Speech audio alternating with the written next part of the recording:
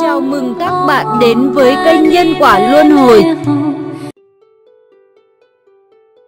Cố mắc bệnh ung thư được truyền máu miễn phí, Chàng trai 30 lần hiến máu để trả nợ ân tình thay mẹ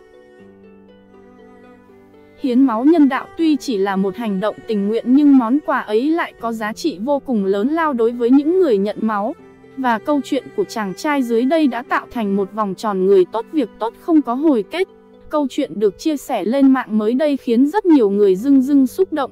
30 chính là số lần anh chàng ngồi vào bàn đăng ký hiến máu và lấy đi 350ml cứ 3 tháng lần. Dường như việc hiến máu đã trở thành một thói quen, một hành động lặp đi lặp lại trong suốt gần 8 năm liền, và nó sẽ vẫn còn tiếp diễn trong tương lai. Như để trả một nón nợ ân tình mà ngày xưa gia đình chàng trai ấy đã nhận được từ những người xa lạ để giúp mẹ mình vượt qua cơn bĩ cực. Bài đăng của anh chàng nhận được rất nhiều sự tương tác của người dùng mạng. Ảnh chụp màn hình đọc bài chia sẻ trong một nhóm kín trên mạng xã hội. Ai nấy đều không khỏi xúc động bởi lý do đằng sau hành động cho đi mà không cần nhận lại này của chàng trai có nickname Nguyễn Văn Dớt. Khoe một chút, đây là lần thứ mình đi hiến máu, lúc đầu cũng sợ sợ, nhưng dần thành thói quen luôn. Năm mình học 12, mẹ bị bệnh hiểm nghèo, bệnh nặng nên mẹ xuất huyết rất nhiều. Mỗi lần như vậy, mẹ được truyền rất nhiều máu. Vì hoàn cảnh khó khăn nên tất cả đều miễn phí. Mình không biết mẹ nhận được bao nhiêu bịch máu, chỉ biết là rất nhiều rất nhiều. Mình biết ơn vô cùng luôn. Trong đầu nghĩ là sau này nếu có cơ hội, mình sẽ trả lại toàn bộ. Cuối năm đó mẹ mình mất, mình vào Sài Gòn học.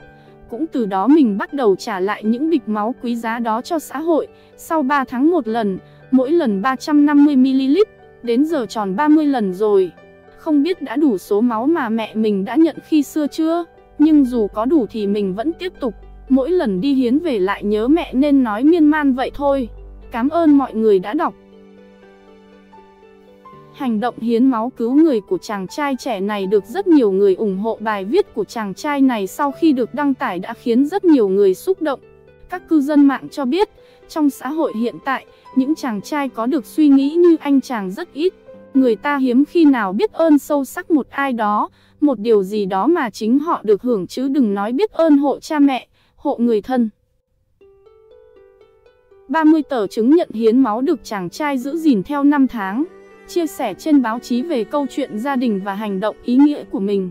Nguyễn Văn Rớt, tên thật là Nguyễn Thanh Việt, tâm sự, anh sinh ra trong một gia đình có tình yêu của mẹ, vắng hình bóng cha từ khi mới lọt lòng, anh sống với mẹ và những anh chị cùng mẹ khác cha. Cuộc sống ngày ấy đối với anh khó khăn và thiếu thốn đủ đường, những người thân lần lượt ra đi vì tai nạn, bệnh tật. Mẹ anh phát hiện bị bệnh ngay tại thời điểm anh bước vào lớp 12, lượng máu truyền vào nhiều nhưng hoàn toàn miễn phí bởi hoàn cảnh gia đình lúc ấy quá đội khó khăn. Cũng trong thời gian này, một người anh trai của anh đột ngột bị tai nạn qua đời ngay khi anh chuẩn bị bước vào kỳ thi tốt nghiệp một tháng. Bác gái cũng sống thêm được một tháng thì qua đời, anh lên Sài Gòn học và kiếm sống nuôi bản thân cho đến ngày nay. Đều đặn 3 tháng một lần, 4 lần một năm, anh đều đăng ký hiến máu với hy vọng mong muốn mang đến cho xã hội những điều ý nghĩa, thay mẹ trả món nợ ân tình ngày xưa suốt đời. Vậy là một năm chỉ có thể hiến máu 3,4 lần, để có được số lượng 30 lần hiến máu, chắc hẳn chàng trai này đã bỏ ra khoảng thời gian sấp xỉ 10 năm trời. 10 năm mang một món nợ ân tình, có thể nói, chàng trai ấy thay vì trả nợ thay mẹ, đã trở thành người cứu giúp rất nhiều người khác. Nhiều người có lẽ đã nợ anh chàng ấy một lời cảm ơn.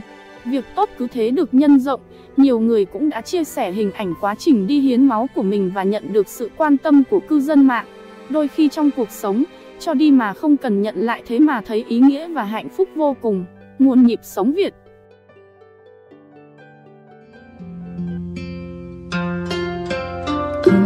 ha ha ha